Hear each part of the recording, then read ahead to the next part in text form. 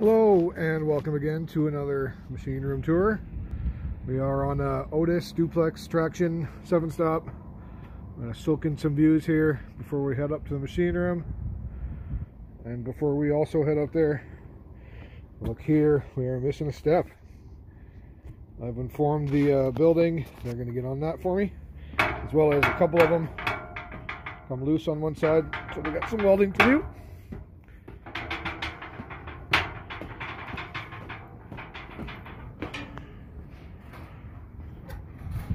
Okay, here we are.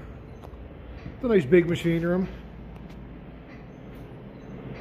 It's one machine, two machine.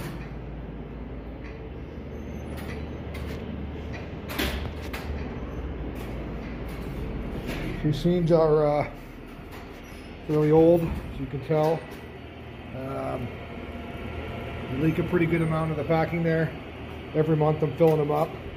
Um, it's only been, a, say, about two and a half, three weeks since I was last here.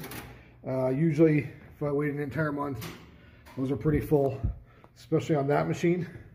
Either way, let's fill it up.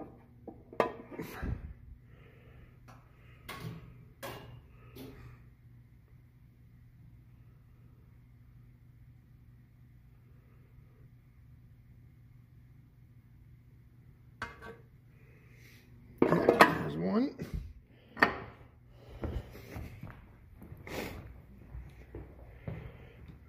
You can see how much more full that one is. Kind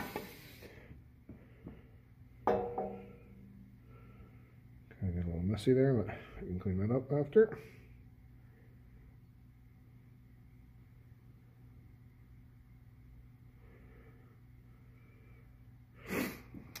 So we have annuals due here.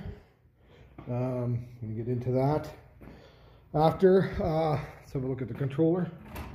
I'm sure most of you have seen these before. It's cool things. Your dash pot, J switch, big contactors.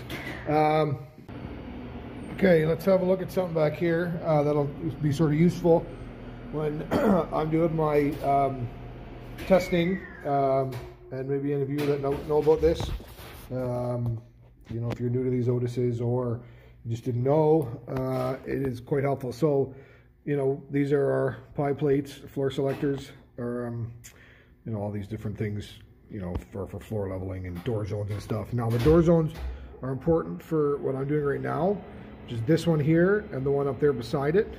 Um, you can see right now that they are on the pie plate, which is making up this little switch here. That's where the contact is right there.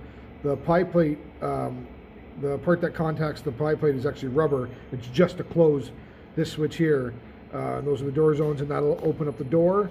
So if you want to um, disable your door while you're doing your testing so nobody can get off, you know, for safety reasons, obviously, uh, you just slide a piece of paper in between either one of those and, uh, and that'll, that'll be it. So that's it for today's machine room tour. Uh, thanks again for watching, everyone, and we'll see you on the next one.